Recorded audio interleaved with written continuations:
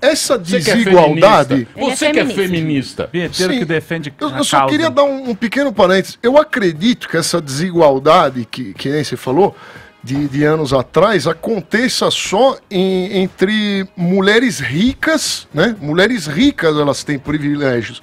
Mulher Muito bom, pobre, vinheteiro. ela, se ela não trabalha, ela, ela morre. Isso antigamente, nos trabalhou. últimos 5 mil anos. Sim. Isso que eu acho é, um pouco esquisito. A mulher pobre, ah, você tá certo, a mulher pobre sempre trabalhou. Então, assim, sempre trabalhou, então não existe então, por que o movimento desigualdade. feminista vem dizer que conquistou o direito de trabalho?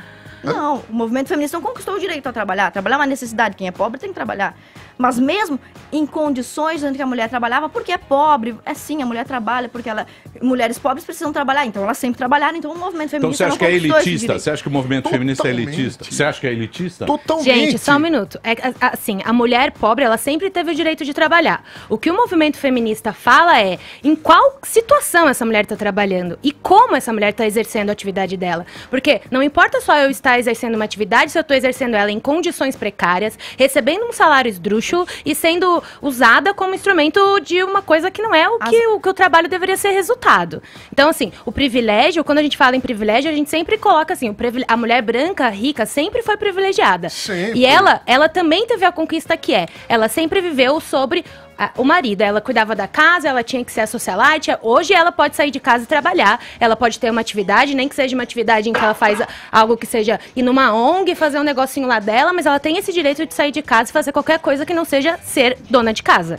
Ser uma mulher que faz qualquer coisa pelo seu marido. Mas a Então, quantidade assim, de mulheres ricas que existem é muito, É muito pequena. pequena. Óbvio que é a muito quantidade pequena. de Dá pra pobre no mundo é exato. 98%. Exato, só que privilégios existem em vários níveis, gente. Privilégio não é só sobre riqueza. Privilégio é sobre oportunidade, privilégio é sobre instrução, privilégio é sobre saber olhar numa televisão e ler uma notícia e saber que eu posso ir ali no liceu do ofício e fazer um curso. Então, assim, privilégio não pode ser olhado só pelo viés é, da, da riqueza. Ele pode ser viado pelo viés da raça, ele pode ser viado pelo viés do gênero. Tem muita, muita coisa no privilégio que a gente olha só pelo viés da riqueza ou da pobreza. Mas se o privilégio só Mas depende de acontece na tá. parte Isso. rica, Exato. Ele se torna É. irrelevante. Se ele só, se, se só é em pessoas ricas, porque a quantidade Não, de o ricos privile- no mundo eu posso é ser uma minúscula. pessoa pobre que tô morando na favela, mas que fiz um curso no Liceu do Ofício, isso já me torna privilegiado. Eu já tenho um pouco mais do que outra pessoa tem. Tá e isso de- já me é, me é um privilégio. Então, assim, o privilégio, ele é Não, sim sobre gênero, ele é sim sobre Não, raça, ele é sim sobre, Não, não. sobre classe social. Privilégio é o seguinte: é eu não vi trabalhar.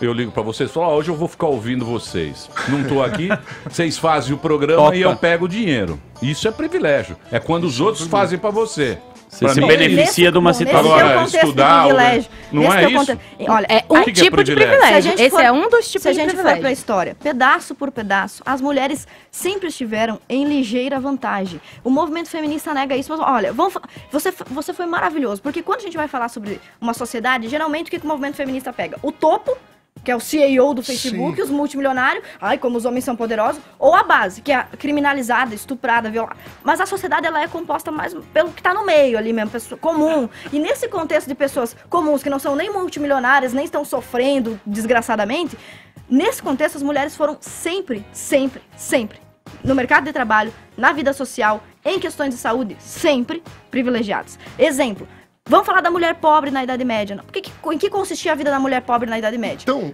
o, o- o pobre não sabia nem escrever na Idade Média, não se tem nem registros do que a, a plebe fazia, né? Mas, alguns Quem, escre- quem escreveu as- a história foram os, os ricos, os aristocratas. Então, na verdade, a gente não sabe nada o que aconteceu. Tem algumas coisas que, que a gente consegue saber. Por exemplo, quando surgiram os burgos, sabe? Os, Sim, começaram sim. a surgir os burgos, começaram a vender. Olha, para você vender um produto, você tem que ter licença. Para você ser um carpinteiro, marceneiro, você tinha que ter licença. Na, na transposição da Idade Média para a Idade Moderna, começou a surgir essa necessidade de ter licença, alvará, né? Bom, as mulheres em inúmeros países povoados, elas recebiam autorização para trabalhar sem licença porque eram mulheres. O pessoal ficava com pena delas. Outra coisa que acontecia, quando elas eram encontradas com produto ilegalmente, ou vendendo coisas sem pagar impostos, elas não eram punidas. E quem era punido no lugar delas eram os homens. Outra coisa que acontecia, alguns povoados, reis, determinavam algum período em que as mulheres podiam trabalhar sem pagar imposto, só as mulheres. E outro exemplo, na Noruega, quando começou a faltar lã, só era permitido vender lã às mulheres. Porque se- para elas não passarem frio, que alguém passar frio que seja homem. Esses pequenos privilégios, eles não, eles não existem para os homens. Não existem. A- A mulher, por ter uma condição de pressuposto de fragilidade, a mulher mais frágil, engravida, não consegue subir esse morro, não consegue subir nessa árvore, esse pressuposto, ela recebeu pequenos privilégios, que você vai dizer, não faz diferença.